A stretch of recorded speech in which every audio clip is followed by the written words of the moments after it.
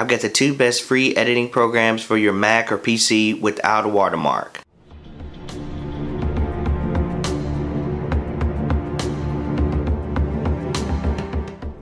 Before we get started, make sure you hit the like button as well as subscribe to my channel. Every Friday, I make a new video about personal finance and technology. So make sure you hit the subscribe button so you don't miss any new videos just like this. I made a video about the two best editing apps for your phone. Be sure to check out that video once you're done watching this video. I've got the two best editing programs for your Mac or PC. Make sure you watch this video to the end because I'm going to give you one free bonus editing program. So let's get to the free editing programs for your Mac or PC without a watermark mark. The first program is called OpenShot. This is the first program that I learned to edit my YouTube videos on. OpenShot lets you do all of the basic editing as well as some advanced features. Some of the basic features include trimming, slicing, adding music, and more. You can also do advanced editing like creating 3D animations, adding time effects like slow motion, and speeding up time. Since it is a free editing program, when you export the video, there is no watermark to worry about. Although OpenShot is very user friendly, some parts parts of it can be a little advanced. OpenShot can render and export up to 4K content. Overall, OpenShot is a great free editing program. The next free editing program for your Mac or PC is called DaVinci Resolve. This is my favorite editing program and the one that I use now to edit my YouTube videos. DaVinci Resolve renders as you edit so it's not as much work on your GPU. Since it also renders while you edit, you do not have to have a fancy computer. And just like OpenShot, you can export videos up to 4K without a watermark. You can edit, cut, trim,